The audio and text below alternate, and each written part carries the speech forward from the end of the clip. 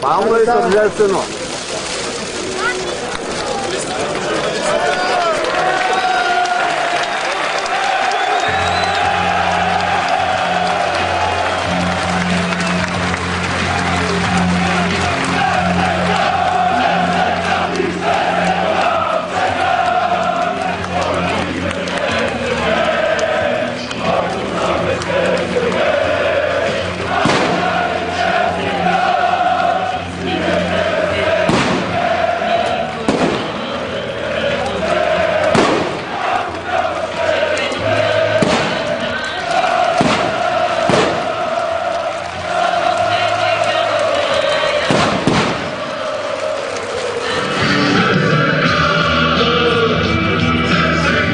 Над 200 фена преди малко с факли и огън посрещнаха футболистите на ЦСК на първата им тренировка.